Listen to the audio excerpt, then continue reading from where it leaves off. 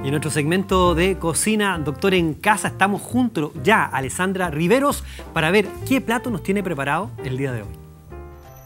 Hola Claudio, bienvenido nuevamente a mi cocina. Hoy te voy a mostrar cómo hago unos ricos sublakis o brochetas de cerdo. Primero que nada nos vamos a lavar las manos.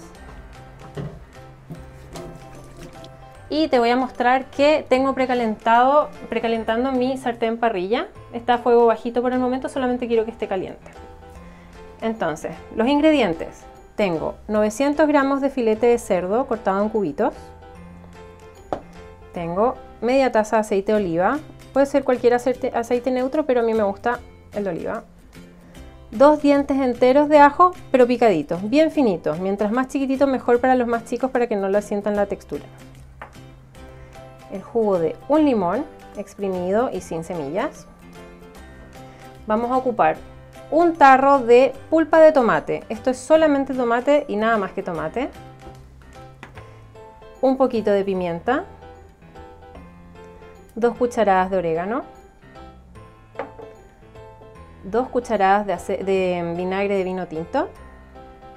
Y obviamente nuestra sal Plus.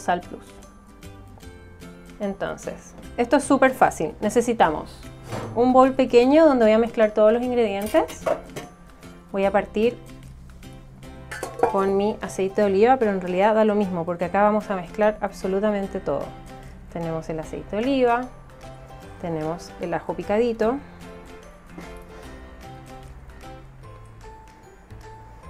tenemos el jugo de limón, tenemos la pasta de tomate,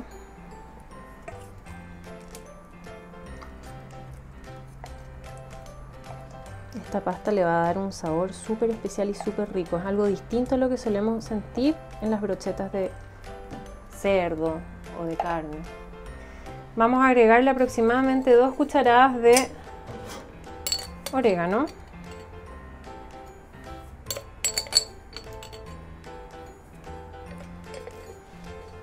Y dos cucharadas de vinagre de vino tinto.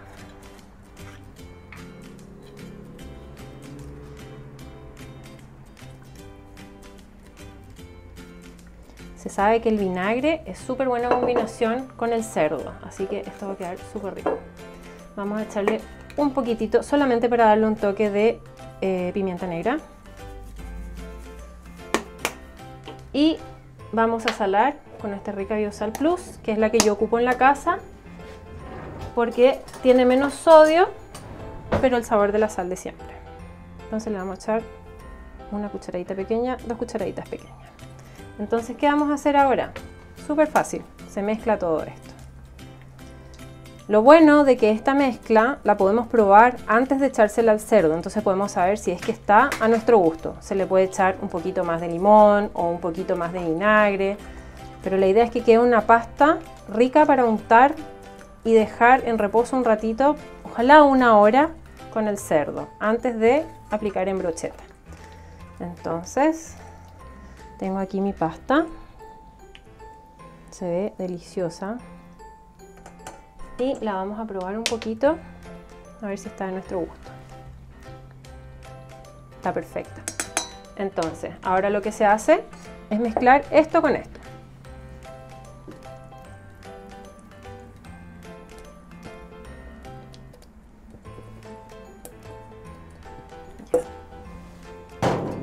Y acá Pueden hacerlo con las manos, con una cuchara, con un tenedor, lo que tengan a mano. La idea es que quede absolutamente todo embadurnado. Y después se lleva a frío al refri tapadito, ojalá mínimo una hora, porque esto va a hacer que se absorban bien los sabores.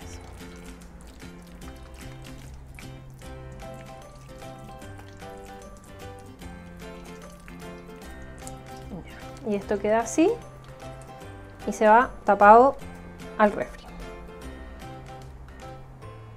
Ya, entonces esto ya reposó, está súper rico. Y ahora lo que voy a hacer es, para que no se me quemen las brochetas en caso de que sean de madera, las vamos a mojar un poquito. Entonces así con el calor del sartén no se me queman. Y ahora viene la parte más entretenida. Vamos agarrando cubito por cubito. Ay, se me escapa. Y nada, vamos armando las brochetas. Podemos poner unos 10 trocitos. Esto queda perfecto así. También está la posibilidad de saltear esto en un sartén y ocuparlo como relleno para un wrap, un sanguchito, algo queda delicioso. La verdad es que así comerlo solo o en brocheta son bienvenidos. Entonces voy armando mis brochetitas. Les voy a mostrar tres y los vamos a llevar a sartén para que vean lo fácil y rápido que quedan listos. Ya, entonces esto está perfecto y vamos con nuestras brochetas.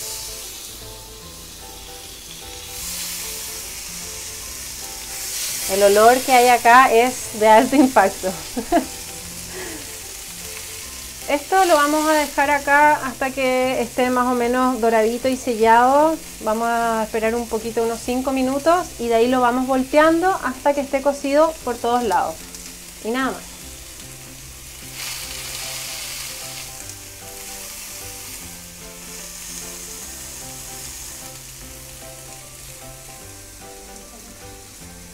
Ya, entonces esto estamos listos, ya es una carne que está blanquita. Así que está listo para comer. Vamos a apagar el fuego y los vamos a retirar.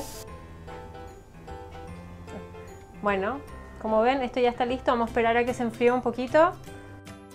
Ya, entonces esto ya está listo para servir. Están un poco calientes para probarlos todavía, pero están deliciosos.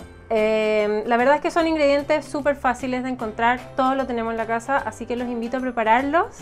Y muchas gracias por venir a mi cocina. Chao. Muchas gracias Alessandra por ese consejo, por ese plato que nos preparaste el día de hoy. Esta receta y otras más ustedes las pueden revisar en www.doctorencasatv.com. Y además recordarles que si va a usar sal, que sea una sal baja en sodio y por supuesto lo más importante, alta en potasio por todos los beneficios que tiene para nuestro sistema cardiovascular. Pausa y ya volvemos junto a usted.